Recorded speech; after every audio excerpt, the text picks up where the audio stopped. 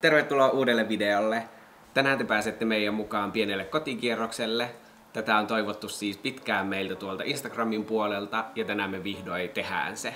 Ennen kuin mennään tästä eteenpäin, niin muistakaa tilata meidän kanava ja laittaa hälytykset päälle, niin tiedätte heti kun me julkaistaan uusi video tänne.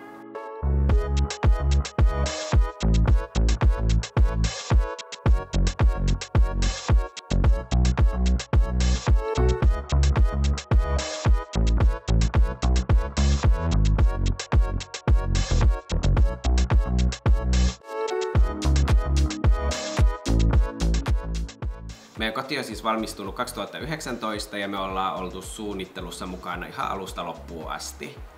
Ähm, mä toivon, että tämä esittelykierros menee vähän paremmin kuin vuosi sitten, vai onko se reilu vuosi sitten, Suomen kaunein kotiohjelmassa.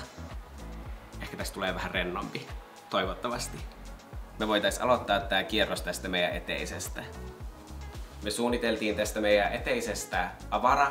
Me ei haluttu tänne mitään siis ää, perinteisiä isoja niin kuin peilikaappeja, ää, mahdollisimman paljon ilmaa ja me päädyttiin pistää sitten tämmönen niin kuin katosta roikkuva hengaritanko ja sitten tämmönen hylly, mikä saa sitten pieniä juttuja, siellä on pipo ja hanskat.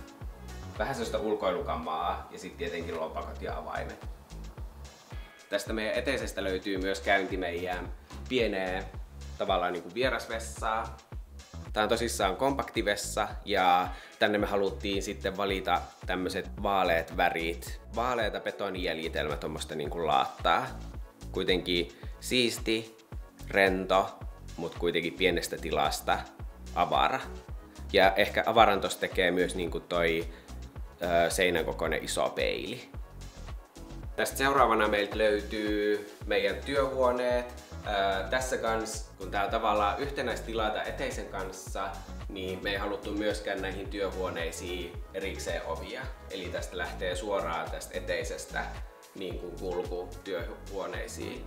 Täältä löytyy mun työhuone ja tältä puolelta löytyy Kimmon työhuone. Tästä meidän eteisen ja työhuoneiden yhteisestä tilasta löytyy katosta tommonen valkolakattu OSP-levy. Me haluttiin tähän tilaan jotain pientä lämpöä ja luonnollinen valinta oli sitten puu ja sitten toi antaa kivaa tekstuuria tähän myös. Täältä löytyy tosissaan mun työhuone. Nämä työhuoneet on kans tosi kompakteja ja simppeleitä. Täällä ei oikeastaan ole hirveästi mitään ylimääräistä. Täältä löytyy tietenkin työpöytä. Se on Bo-konseptin Cupertino. Oliko se Cupertino? On. Ja siinä erityisesti miellyttää toi kevyt ja simppeli rakenne. Täällä on myös käteviä niin kuin lokeroita, mikä saa paljon papereita. Oikeastaan mulle ei ihan kauheasti ole mitään papereita, mitä mä säilyttäisin täällä. Sitten mut löytyy tämän työpöydän kaverina ää, työtuolina tämmönen hein, kivasti muotoiltu, pyöreä linjainen tuoli. Sitten täältä löytyy muutama kiva taideteos tosta työpöydältä. Yksi. Ää, toi on lyijykynätyö. Siinä on tehty ohuita viivoja tommoseen niin kuin, muotoa. Täältä toiselta puolelta löytyy Kimmon työhuone. Täällä on pitkälti samat kalusteet, mitä tuossa mun huoneessa oli. Työpöytä on sama, työtuoli on sama. Näiden lisäksi täältä nyt löytyy peilikaappi, niin kuin Kimmon papereille, tarvikkeille ja sitten kaikille kuvausjutuille. Täältä Kimmon työhuoneen seiniltäkin löytyy taidetta. Täältä löytyy Marko Ikävalkon tekemä teos.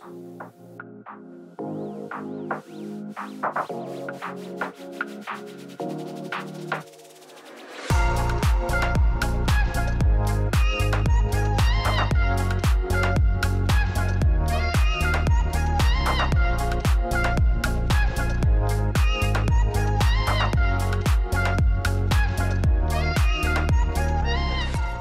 tästä eteisen jälkeen saavutaankin meidän ehkä molempien lempparitilaa, meidän kodin sydämeen, ö, olohuone ja keittiötilaa. Me haluttiin tästä tilasta valosa ja avara ja me käytettiin tässä suurin osa meidän talon neliöistä. Tässä tilassa meillä ikkunat on tilan molemmin puolin. Yhdet on metsää päin ja toiset on sitten meidän etupihalle päin.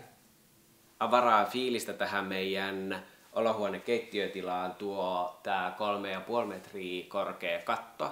Koska tämä tila on niin korkea, niin me valittiin kattoon materiaaliksi tommonen puukuituakustiikkalevy, että täältä saa vaimennettua ylimääräisen kaiju. Täältä ruokailutilaa puolelta meiltä löytyy pieni kontura kiertoilmatakka. Se ei oikeastaan ole meillä, tai oikeastaan me ei käytetä sitä niin kuin lämmitystarkoitukseen, että se on enemmän se niin kuin tunnelman ja fiiliksen luontiin. Tästä takavierestä löytyy itse asiassa mun koko tämän tilan lempi huonekalu. Tää on kupin tämmönen tarjoilukärry ja siinä on meillä tarjolla vähän laseja, koristeesineitä ja tämmöisiä niin kuin baaritarvikkeita. Sitten päästäänkin jo ruokailutilan tärkeimpää asiaa, eli ruokapöytään ja tietenkin ruokapöydän tuoleihin. Tämä ruokapöydän kansi on teetetty ikilevystä. Se on siis ihan oikeata puuta ja sitten siinä on tämmöinen musta laminaatti pinnote. Ja tuoleina meillä on tämmöiset hein pirteen siniset tuolit. Nämä on myös puuta ja toi runko on metallia.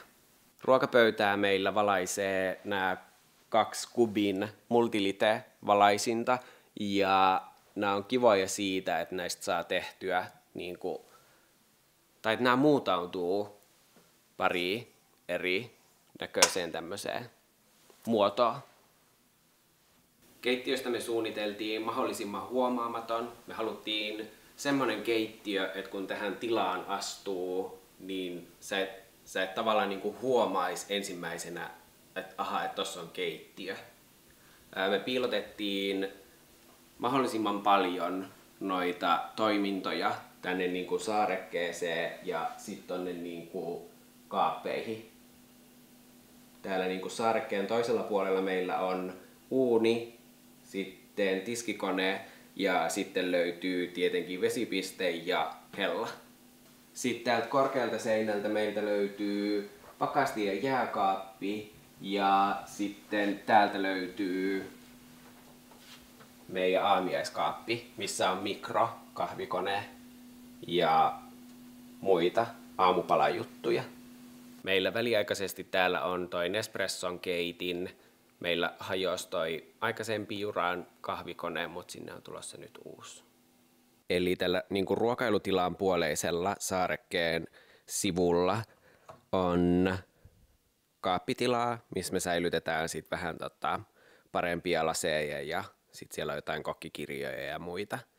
Niin on hyödynnetty koko tämä tää puoli tästä myös säilytykseen. Sitten voidaankin siirtyä jo tuosta keittiöstä tähän meidän olkkarin puolelle. Vaikka tämä keittiö ja olkkari on iso samaa tilaa, niin tämä on jaoteltu selkeästi niin kuin kahdeksi eri puoleksi, jos niin voi sanoa. Tuohon niin kuin vasemmalle jää keittiö ja sitten tässä oikealla on tämä olohuoneen puoli. Ja tuossa keskellä voi sanoa, että menee sitten tuommoinen pien kulkuväylä, mistä pääsee sitten tuonne kodariin ja makuhuoneeseen. Tämä olkkari on myös hyvin simppeli, ei hirveästi mitään ylimääräistä. Tietenkin yksi tärkeimmistä, ää, mukava sohva. Tämä on HT Collectionin Air-sohva. Ja me valittiin tähän sohvan väriksi tämmönen, onko tämä nyt paahdettu oranssi tai paahdettu, paahtunut keltainen. Tämmönen lämmin ruskea. Tämä on mukavan simppelin näköinen tähän tilaan. Meillä on TV-tasoksi yhdistetty itse asiassa kaksi tuommoista dekotikuen mustaa lipastoa. Ja meillä aikaisemmin oli vain yksi tommonen, mutta se näytti vähän sitten lyhkäselle ja Orvolle tuossa pitkällä seinällä, niin sitten me haluttiin siihen tommonen ähm, tavallaan koko seinän mittainen taso. Ja siellä on kätevästi kans sitten säilytystilaa. Me ollaan keräilty aika paljon tässä ajan saatossa noita Iittalan ää, taidelasi esineitä ja maljakoita ja muutenkin tuommoinen lasitaide vähän kiinnostaa. Me ollaan jollain aikavälillä ajateltu, että me uusitaan tämä olohuoneen valaisin, koska tässä ei ole, vaikka tämä upea valaisin, niin tässä ei ole mitenkään erityisen nätti valo. Se on aika kirkas ja kova, vaikka meillä on tässä himmennin ja vaikka noi polttimot on vaihettu semmoiseen, että saa sitten itse säädellä sitä värisävyä. Sitten tästä meidän oleskelutilasta pääsee kätevästi kodinhoitohuoneeseen ja tästä mennään sitten makkariin. Mä voisin tästä nyt eka vilauttaa nopeasti tämän meidän kodinhoitohuoneen. Täällä kodarissa me haluttiin kans kaikki toiminnot sitten piiloon. Tuohon ei jäänyt näkyville kuin vesipiste. Ja sitten pyykinpesujutut löytyy kaikki tuolta peilikaappien takaa. Täällä ei oikeastaan ole hirveästi mitään ihmeellistä. Me haluttiin paljon laskutilaa ja sitä tuossa on myös paljon kaappeja, missä säilyttää petivaatteita ja niin kuin kaikkea muuta kodinhoitohuoneeseen kuuluvaa krääsää. Tänne me haluttiin pien kuivausnurkka ja siellä on telineet, mitkä tota, on seinällä ja ne saa sitten pistettyä kasaan, kun ei ole pyykkiä mitä kuivaa. Ja sitten ne saa kätevästi tälleen auki, kun haluaa pistää pyykit kuivamaan. Mutta tämä on ollut tosi kätevä ratkaisu, niin täällä pysyy sitten tämä koko kulkuväylä niin kuin tyhjänä. Makkari on myös meidän yksi lempitiloista. Tästä me haluttiin tehdä tumma ja tunnelmallinen ja sille, että täällä olisi pieni ripaus semmoista hotellifiilistä. Täällä on koko lattiamatto ja tähän tyhjälle seinälle me pistettiin jo ihan pelkästään akustiikan takia tämmöiset niin kuin samettiverhot. Niin ne vaimentaa tuon koko lattiamaton kanssa aika todella hyvin tämän makuhuoneen niin kuin ääniä. Että täällä on tosi miellyttävä olla. Me myös päädyttiin maalaamaan seinät ja katto kaikki samalla värillä. Ja me haluttiin tänne tosi simppeli ja oikeastaan niin kuin todella yksinkertainen värimaailma. Että täällä on kaikki niin kuin jollain tapaa vähän niin kuin harmaa eri sävyjä. Ja pieni ripaus tietenkin sitten yksityiskohdissa on tota, messinkiä, mitä niin kuin muuallakin meidän kodissa on. Yksi meidän lempariasioista täällä makuuhuoneessa on nämä kiinteät lukuvalot, mitä on tässä sängynpäädy yläpuolella. Ja sitten tässä on katkaisijat, jotka niinku, joilla pystyy hallitsemaan koko niinku, tämän makuuhuoneen valoja. Niin ei tarvitse nousta erikseen sängystä, pistää valoja kiinni, kun ne saa kätevästi tästä. Ja tietenkin makkarista löytyy iso telkkari, mistä on kiva katsoa sitten illalla sarjoja tai elokuvia. Makkarista meillä on myös käynti sitten tänne meidän toiseen kylppäriin. Täällä on vessa ja sitten täältä löytyy suihku ja sauna. Ja sitten tuolta pääsee vielä lasioven takaa kätevästi kodinhoitohuoneeseen ja sen kautta sitten pihalle. Niin siellä on meillä semmoinen pieni vilvottelualue.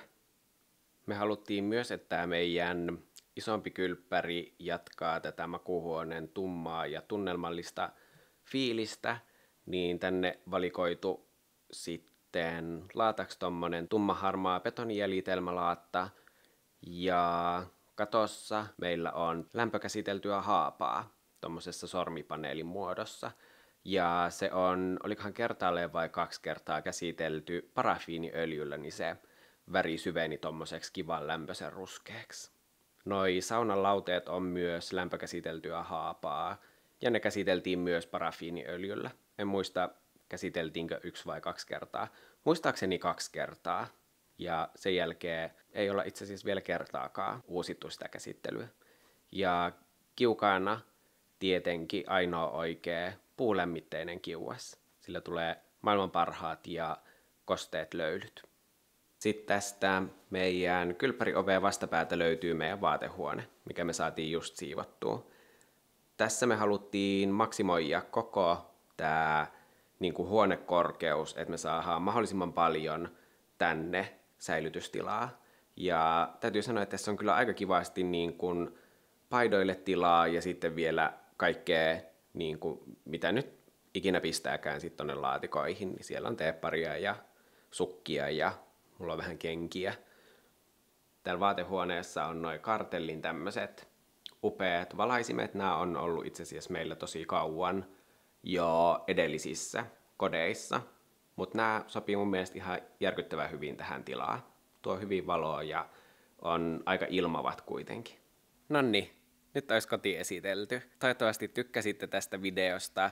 Ja jos teillä on jotain kysymistä, niin laittakaa kommenttia tuohon kommenttiboksiin, niin me vastataan sitten niihin. Ei ollut vieläkään siis mitenkään kauhean luontevaa tämä oma kodin esittely. En tiedä, onko tämä jotenkin itselle liian arkinen paikka, että ei osaa, tuntuu, että ei osaa jotenkin kertoa tästä. Ähm, mutta toivottavasti noista fiilispätkistä oli apua tilan hahmottamisen kanssa, vaikkei ihan osannut kaikkea kertoa. Mutta tämmönen siitä nyt tuli. Muistakaa seurata meitä myös Instagramissa. Ja joo, ei muuta kuin nähdään seuraavalla videolla. Moikka!